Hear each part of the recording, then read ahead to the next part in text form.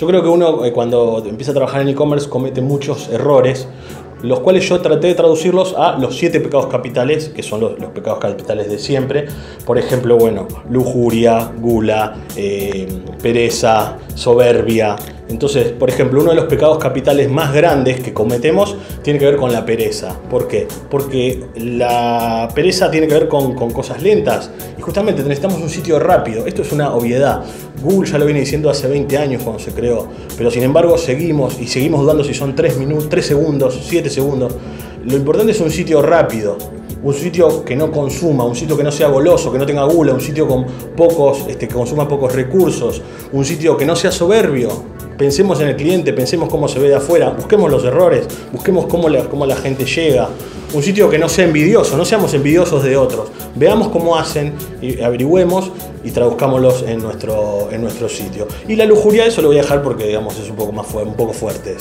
A los pecados capitales, lo que se contra, la, otra cara serían las virtudes. Nosotros tenemos que lograr un sitio virtuoso.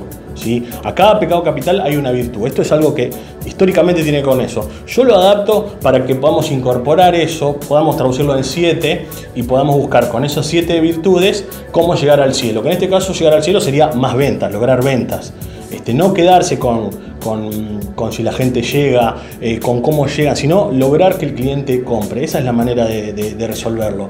Nosotros no tenemos un sitio para que la gente lo vea, para que esté lindo. Obviamente tiene que estar lindo, tiene que ser usable, pero nuestro objetivo siempre tiene que ser vender. Ese es el objetivo. Ese es el objetivo final. Esa es la manera de que los, sitios sigan funcionando, sigamos ingresando, sigan, ingresando los ingresos y podamos seguir este, sosteniendo y, teniendo clientes, por supuesto, contentos, clientes que vuelvan a comprar, que recomienden, que eso es lo más importante de, definitiva, o sea, tener clientes que, estén contentos con lo que hacemos y que, bueno, puedan eh, ayudarnos a seguir creciendo. ¿Cómo optimizar la, la UI UX de tu web para vender más? ¿Qué tener en cuenta? Eh, ¿Cómo ganarse la fidelidad del cliente? Para esto necesitamos ganar confianza y para ganar confianza necesitamos tener una imagen sólida.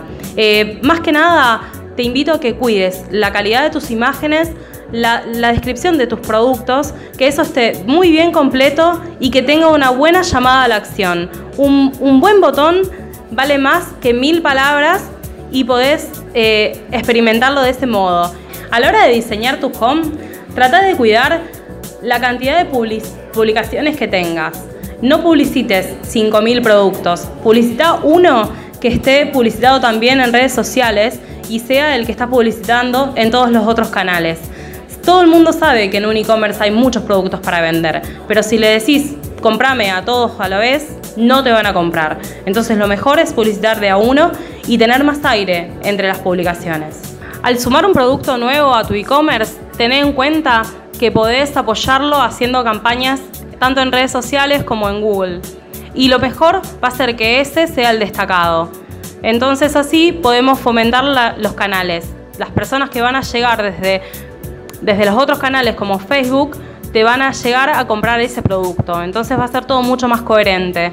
Para eso, o sea, podemos realizar campañas, ya sea para el Día del Niño o para el Día del Padre o para otras cuestiones. Por ejemplo, tenés un producto que está en stock hace mucho tiempo y querés ya sacarlo. Bueno, podés hacer un, un especial para ese producto, pero siempre fomentando eso. Eh, va a estar destacado en el centro de tu página y a ese es el que vas a publicitar en los otros medios también. Bueno, siempre tengamos en cuenta del principio less is more. Eh, todo cuanto más simple es mejor. Entonces, eh, darle mucho aire, tener coherencia. Si tenés un logotipo que tiene color azul, no podés utilizar 20.000 colores para comunicar porque eso va a estar haciendo ruido y no vas a comunicar nada. Entonces, lo mejor es elegir un par de colores, un par de tipografías que sean bien, que estén, que estén buenas, que tengan buena presencia y con eso ya podés salir con una una cuestión ordenada y comunicando correctamente.